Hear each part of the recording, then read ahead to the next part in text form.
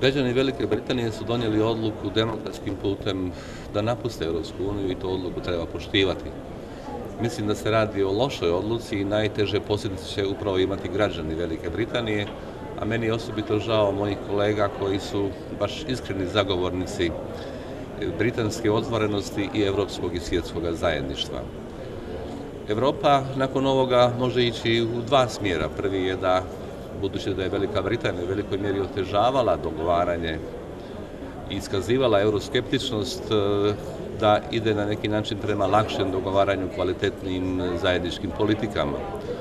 No Europa ima poteškoća i bez Velike Britanije, tako da taj proces može ići u negativnom smjeru, naime potaknuti slične politike i slične procese i u ostalim zemljama Europske unije.